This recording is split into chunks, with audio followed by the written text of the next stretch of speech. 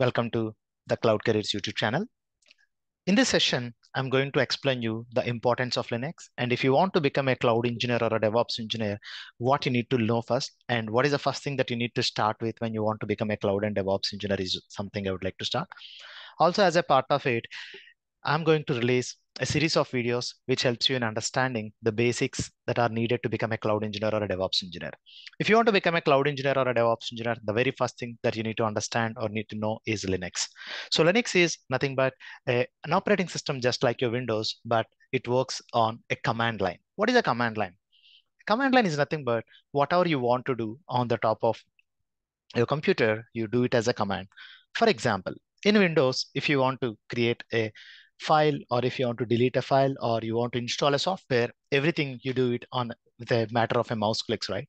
Unlike that, in command line, everything you do it as a command.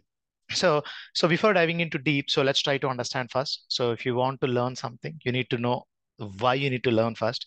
So very first thing, 99.9% of the world's enterprise infrastructure is on Linux. That means if you take 1000 servers, 999 servers are on the top of Linux. So it's a must, you need to know the Linux. And if you want to start your cloud journey or a DevOps journey, try to ensure that you are very much familiar with cloud.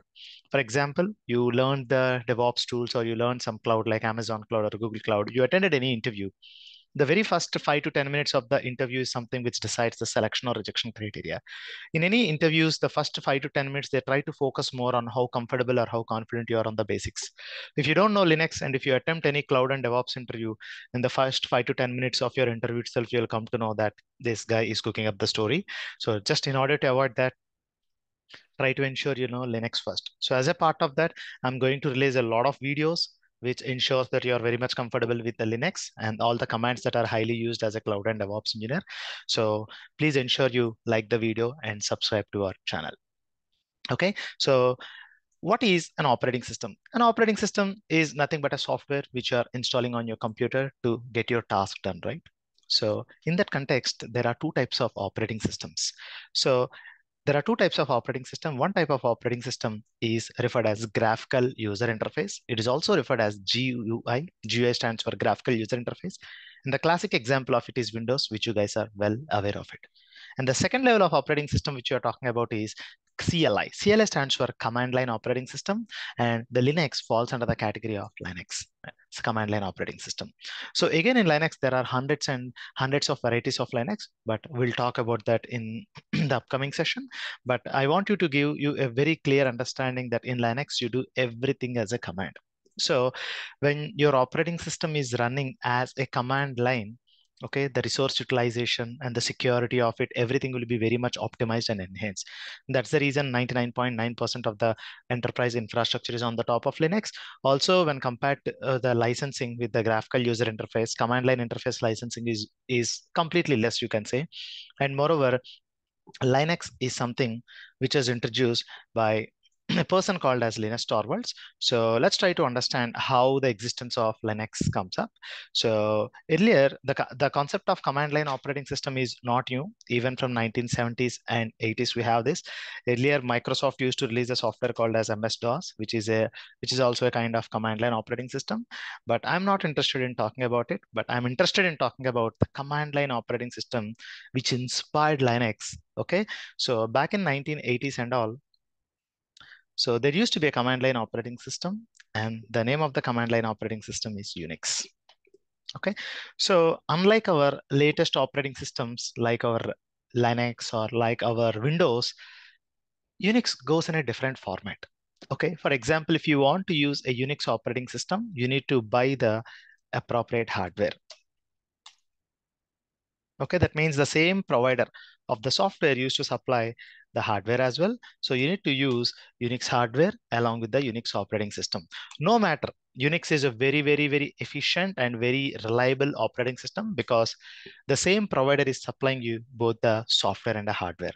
And that's the reason if you take an iPhone, iPhone gives you just one GB or two GB of memory, but still it never hung, right? That's that's one of the reason why uh, iOS and uh, the hardware provider both of them are from the same provider so they will have a very tight integration so it was it was all started in 1980s Okay, so in 1980s, the Unix, which is a command line operating system, is very famous, but at the same time, it's a very costly solution. Only the enterprise companies and the universities that time can afford.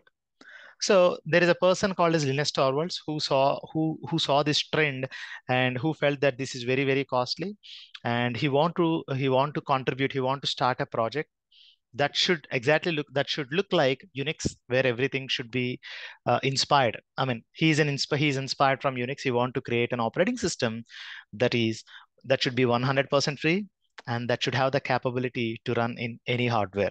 For example, an operating system which is capable of running on HP computer, or it can be capable of running on Sony computer. It should also be capable of running on Lenovo computer.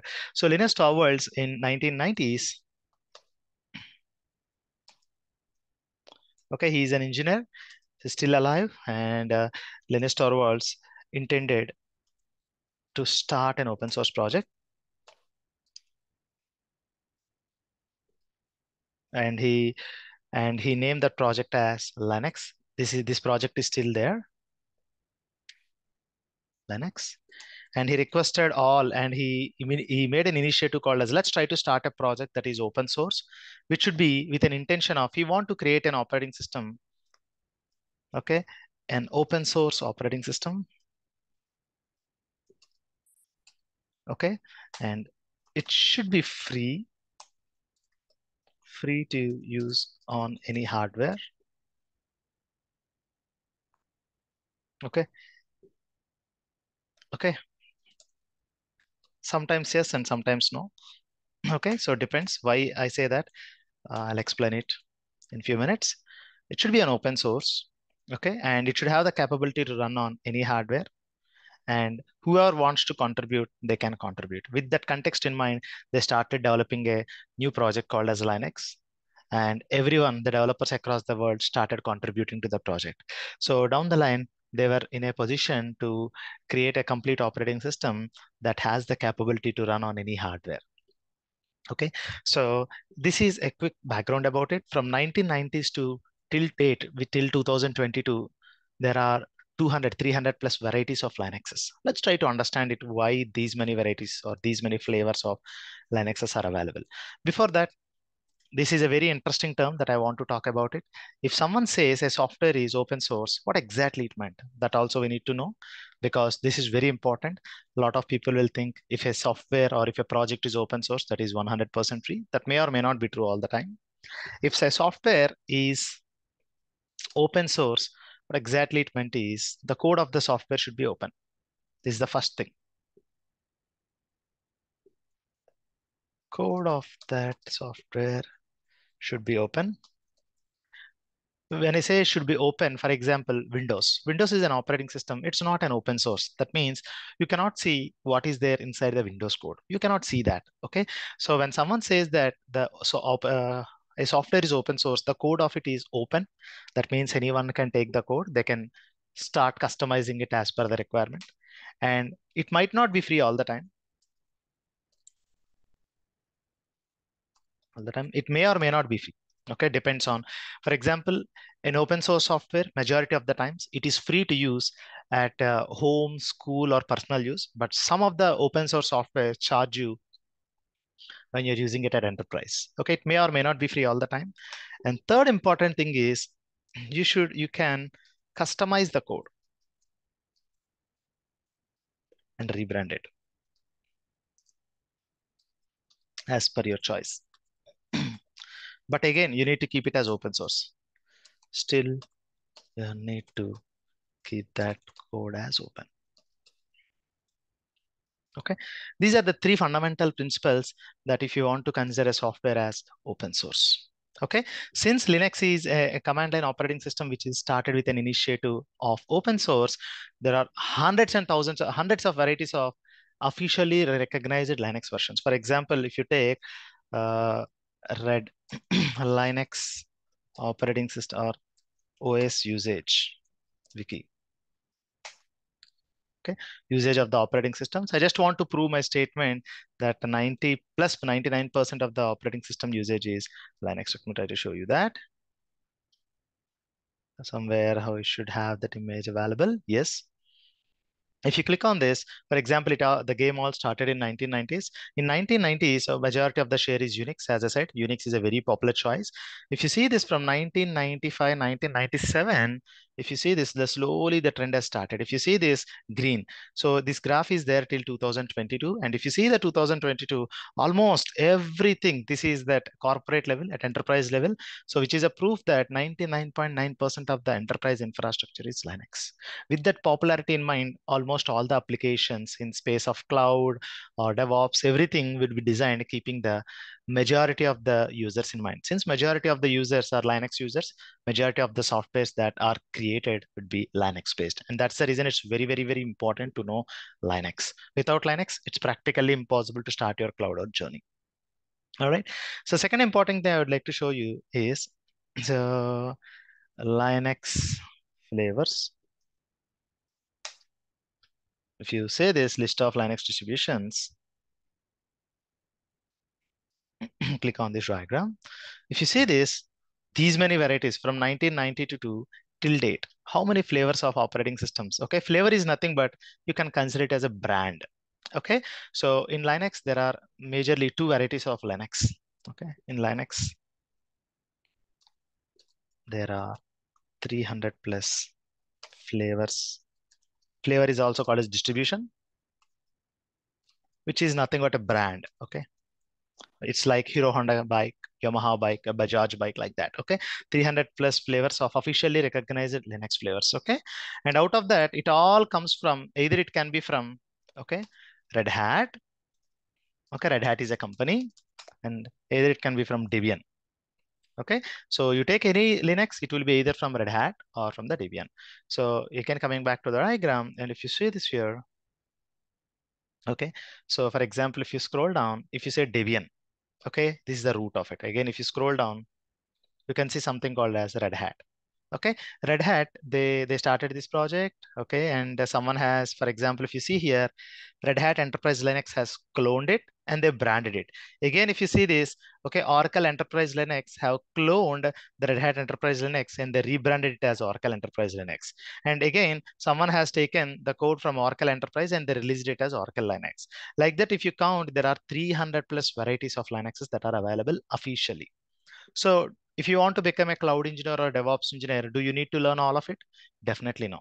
Okay. If you know one, rest of them almost remains the same. So among all, the very popular choice is Red Hat Enterprise Linux. So Red Hat Enterprise Linux is a very popular choice in almost all the companies. 95 plus percent of the companies, okay, they uses Red Hat because Red Hat is very famous uh, Linux because of the support models and the type of support that they offer. If a product has to be successful, uh, it all starts with the customer experience and the support that they offer to the product. In that space, Red Hat is known for it. So if you know Red Hat, you're good. Okay, either you can use Red Hat Linux or CentOS. Both of them are okay, almost look like the same. CentOS and Red Hat are uh, you can consider CentOS as a clone of Red Hat operating system. So you can you can use this as a part of your learning. So next thing, so how can we learn? How can I learn the Linux? The very first thing. So what are all the options that are available to learn Linux? Let's try to understand it. How can I or you learn Linux? There are multiple ways. Again, in the space of internet, everything is free. So for example, if you want to learn Linux, one of the option is you can you can install uh, if you are a Windows user, you can install Oracle VirtualBox on your computer, on your Windows computer, and can create a Linux VM. And second thing, you can have, if you are using a Linux laptop,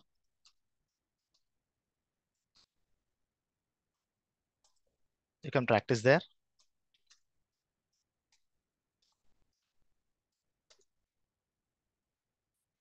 Or if you're using, or if, if you're using MacBook, you can also practice on MacBook, but MacBook is again, it comes under the category of Unix. That's not a wide choice. Or there are some open platforms like Katacoda, where you can learn on the click of your browser. Or the other way is create a server on AWS Cloud and create a server on AWS Cloud.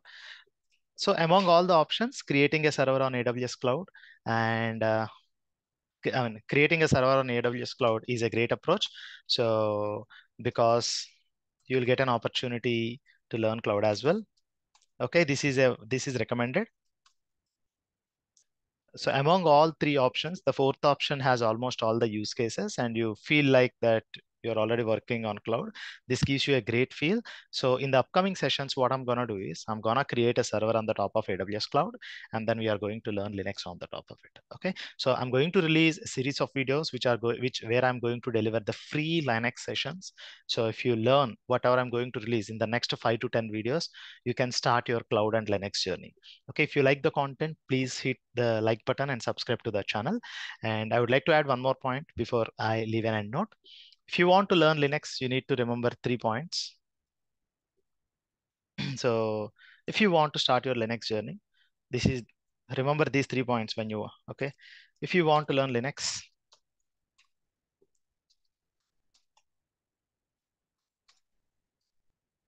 if you want to learn Linux, remember these points.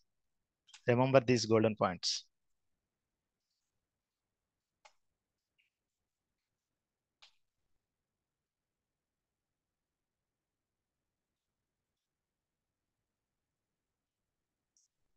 In Linux, everything is okay. You do everything using commands. And there are hundreds and thousands of commands. You don't have to learn anything.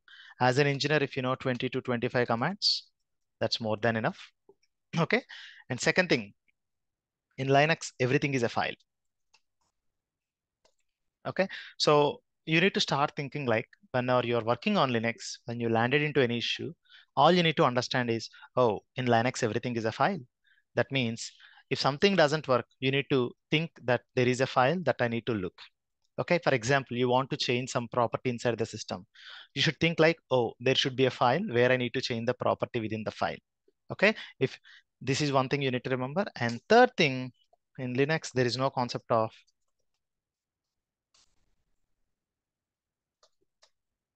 recycle bin. So if you delete something, it's gone forever. So you need to think twice, thrice before you delete something. And fourth important thing, this is very important, Linux is case sensitive.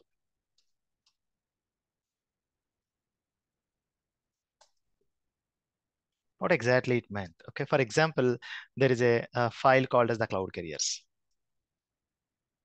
Okay, it is a file. So in Windows, this and this, both of them are same, right? Technically there is no difference between these, right? But in Linux, it's not like that. So if it is Windows, both of them are same file. If it is Linux, the cloud careers.txt and the cloud careers.txt are different because it is case sensitive, okay? THC with a T capital letter and THC with a T, T lowercase letter, both of them are different letters. For example, if you are trying to sign in using SSH username as CentOS at the rate IP address, okay, it will work. For example, instead, if you use SSH CentOS at the rate IP address, it will not work. Okay, that's because Linux is case sensitive. Okay, these are the very important points you need to remember before you start your cloud journey or before you start, before you intend to learn Linux. Okay, so I'm gonna release one more video tomorrow. Please stay tuned to the channel. So where I'm, I'm gonna update a lot of content that is related to Linux so that it helps you to start your cloud and DevOps journey. Every day I'm going to update a, a new video on Linux. So please stay tuned to the channel and please hit a like button if you like the content and ensure you subscribe to the channel. Thank you. Signing off. I'll see you tomorrow in the session. Bye.